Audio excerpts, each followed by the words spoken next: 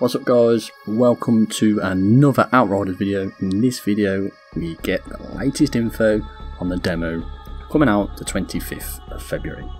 So 5 days time. Yeah boy.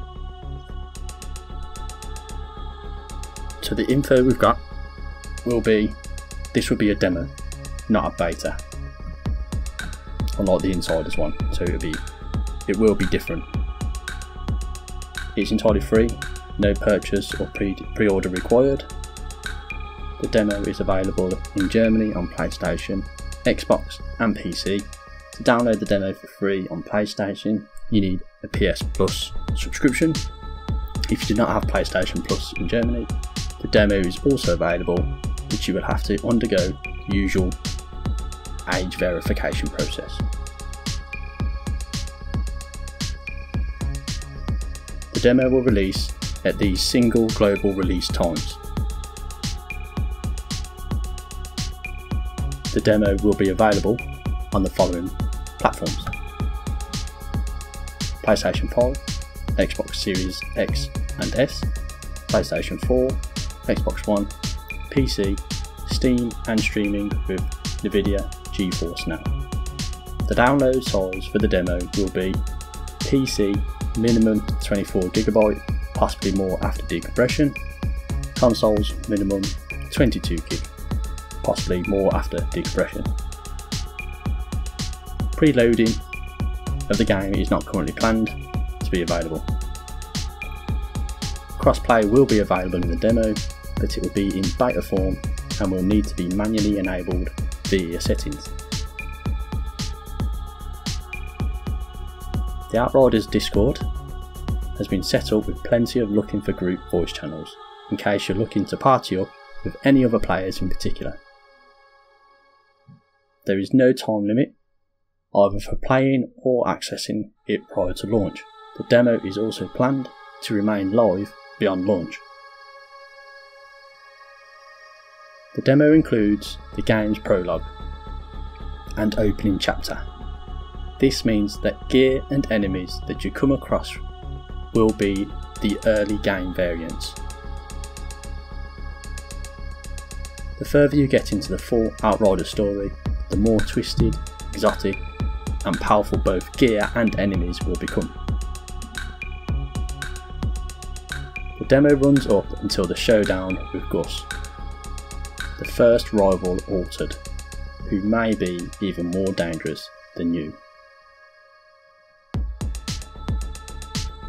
Some side missions unlock after defeating Gauss, so you will be able to go back and explore the world.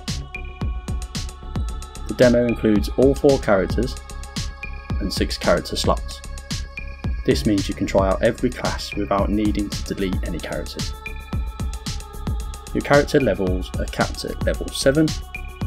This will allow you to earn your class's 4th ability and be able to mix and match your active skills in the demo.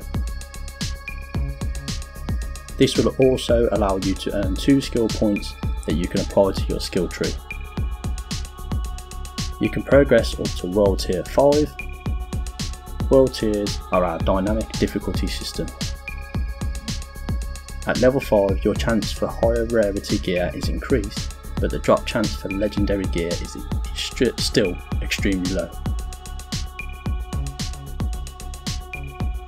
Resources will be capped at a certain generous amount in order to safeguard balancing for when you go into the main game.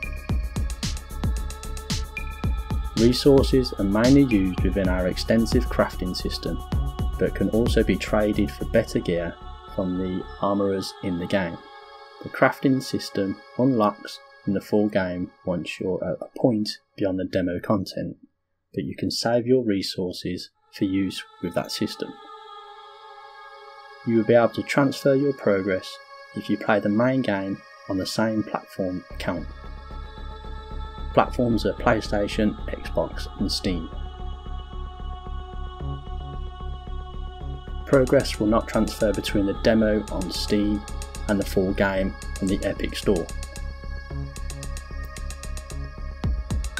The demo will not include any trophies or achievements, but your in-game accolades will transfer along with your regular progress. you are free to stream any part of the demo, no restrictions.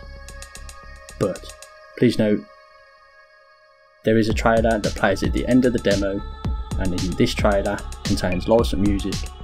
We would recommend caution when streaming this section. Hope you guys enjoyed it. Like me, cannot wait, super hyped. Leave a like, leave a comment, and by all means, don't forget to subscribe. Thank you.